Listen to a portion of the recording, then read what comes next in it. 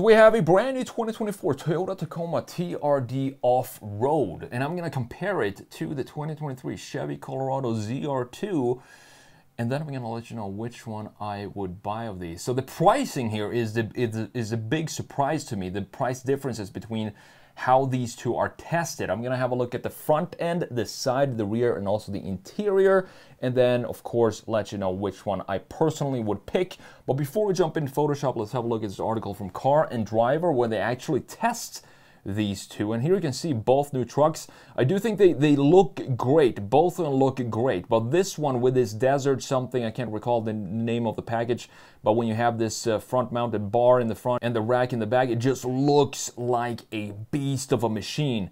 This Tacoma has a lot of potential as well to look very, very cool. I'm gonna let you know what changes I would like to see on this. So Toyota has changed pretty much every single thing on the new generation Tacoma, and it was about time. I mean, the old one was selling really well, but it was definitely outdated when it comes to technology. And they're starting with a new turbocharged 2.4 liter inline four backed by a six-speed manual, or you can have it with an eight-speed automatic transmission. It's cool that you can still have it in a six-speed manual.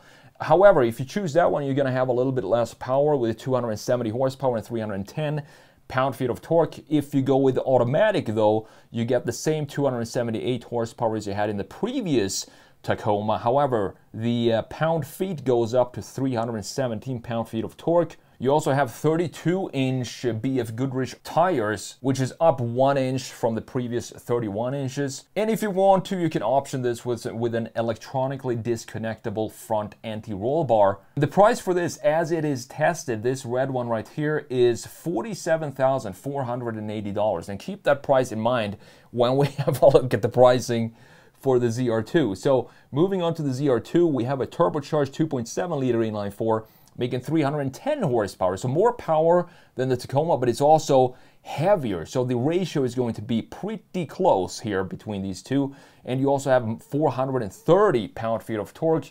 You have electronically lockable front and rear differentials. You have 33 inch instead of 32s for the uh, Tacoma, 33 inch Goodyear Wrangler Territory MT tires. Now the base price for this is $48,295 and that is five that is already $5,000 higher than the Toyotas. However, as this one is tested with with this uh, Desert Boss package comes out to $61,530 and about $9,000 of that is this Desert Boss package which includes a 40 inch light bar, and a dubious bed-mounted sport bar, beadlock capable wheels, underbody cameras, and a front bumper safari bar with built-in fog lights. Now, with all that stuff that you get uh, installed from the factory, it sounds like a pretty reasonable price. Now, despite the lower step in height, the Tacoma has more ground clearance. You have 11 inches compared to the ZR2's 10.7 inches. Not a huge difference there, but the, the ZR2 also sits overall higher, so it's weird that it doesn't have at least the same ground clearance as the Tacoma. You also have the same infotainment screen in the Tacoma, the 14 inch that you have in the Tundra. And honestly, in this case, this being the smaller truck, of course, from the Tundra, I don't think that 14 inches look too big for this overall interior. I do think that has to do with all these static horizontal and vertical lines that we have going on here. It makes it feel sort of okay. I'm sort of okay with this interior, even though the screen is obviously huge with 14 inches, but thankfully we do have a gauge cluster housing here and a beautiful digital gauge cluster as well. Now on the ZR2, they say here at Car and Driver, I did test the, the Chevy Colorado on the Sketch Monkey channel. You can go and check that out. I also tested the Canyon AT4X, which has the same powertrain as this and is the top level of the Canyon on the Sketch Monkey channel. If you want to go and check those out, of course, go over to the Sketch Monkey channel.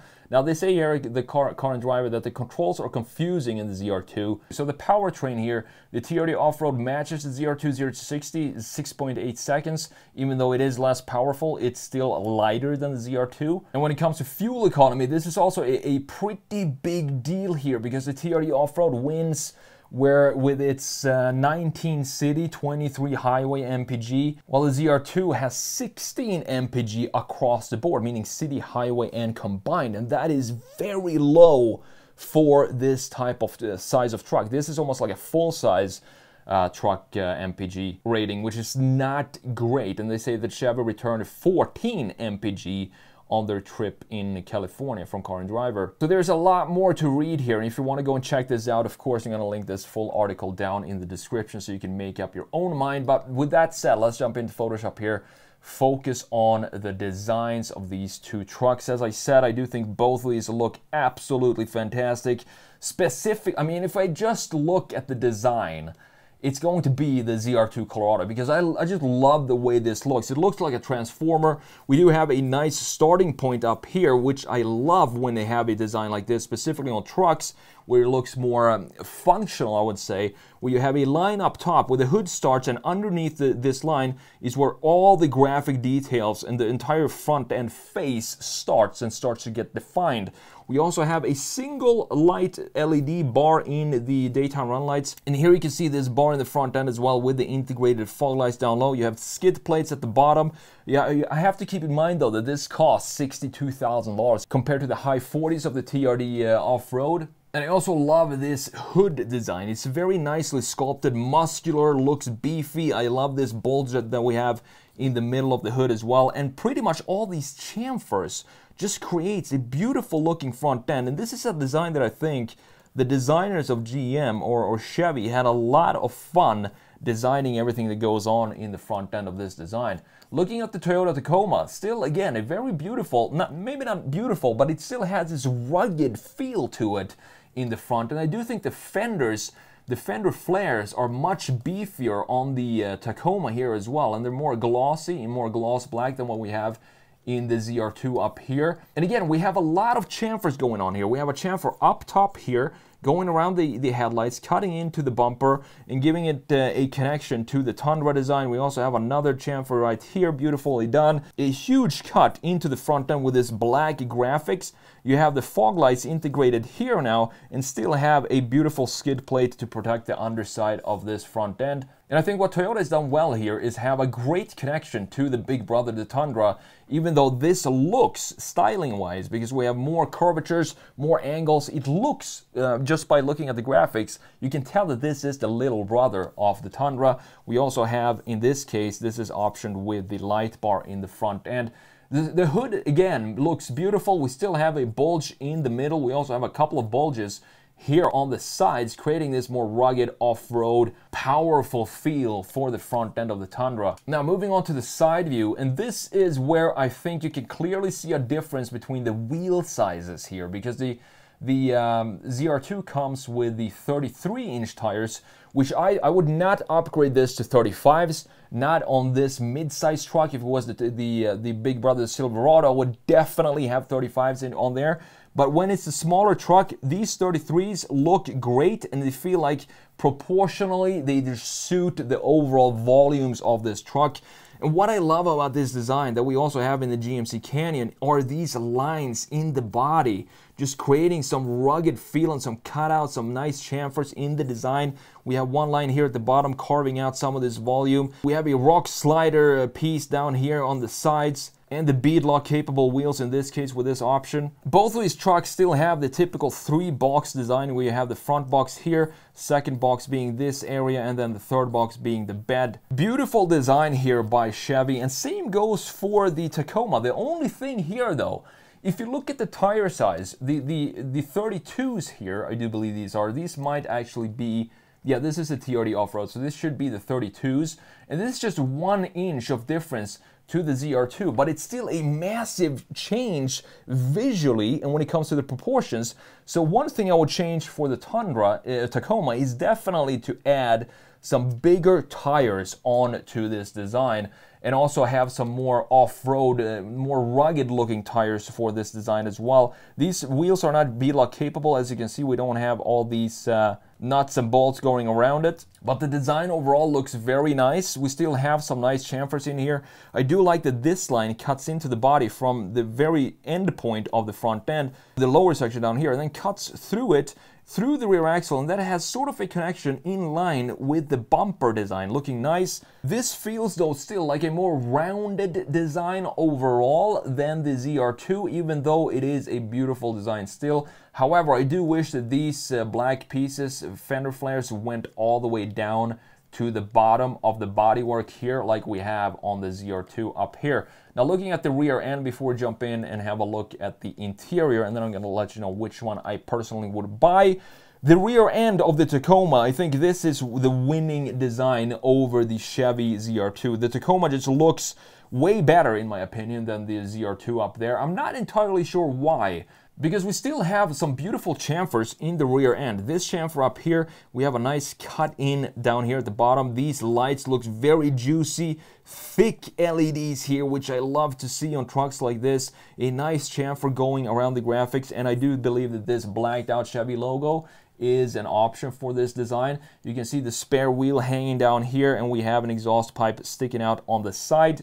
Looking at the Tacoma though, this looks, I think this looks more chiseled and more, maybe even more rugged than the uh, ZR2. And I think it has a more modern feel overall to it with this clamp design that we've seen in the Tundra already, where it feels like the, from a side view, the, the taillights just are clamped on to the rear end. And I do like that. Not as big of LEDs that we have in the ZR2. They're not as juicy, but they're still pretty thick.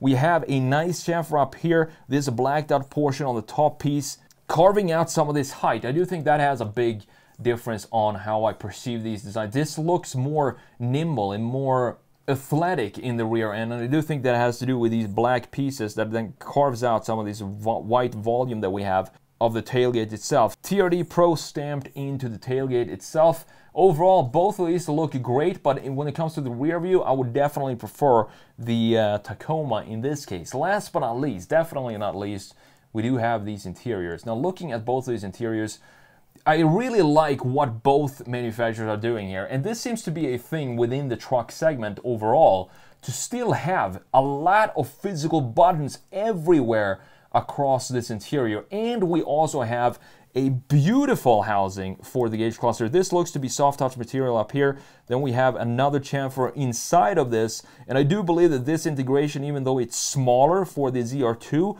looks better than the integration of the big 14 something inch screen that we have on the Tacoma. This is just a massive, again, a TV that they just planted up top on the dash. But overall, the interior of the Tacoma still looks great. I love that we have the Tacoma similar to what we have in the Tundra as well on the passenger side over here. And look down here, we still have physical buttons for all uh, knobs, for all the important climate control settings. We have a control panel down here. Look at the texture of this thing, the drive modes adding to this very rugged feel that we have. And I've always been a fan of these uh, gear selectors that Toyota is putting in their trucks these days. I like that way better than this that we have in the ZR2. And again, we still have a beautiful housing again for the gauge cluster here of the Tacoma with the big red start button here. Steering wheels, both these look great because we still have buttons on the sides. In this case, I still prefer the Tacoma when it comes to the steering wheel. And if the Tacoma had just a maybe an 11 inch uh, infotainment screen, something that went down like this, I would definitely prefer the Tacoma overall in this interior. But I think this is a draw when it comes to just design wise and which one I prefer these because I think both of them are really really great. Now which one would I personally buy though? That is a very tough question. But I have to I, I this is such a huge difference in price 15 almost $15,000 between the one car and driver tested that in this case I would go with the Tacoma even though I do think the front end design of the ZR2 looks so cool and so muscular and beefy, I would go with the Tacoma and add some options onto that truck because I think if I use that $15,000 to add a little bit bigger wheels and tires, maybe some uh, light bars and some ditch lights on the Tacoma, I think it would be a very, very cool looking truck. And then on top of that, you also have the fuel economy, which is way better in the Tacoma.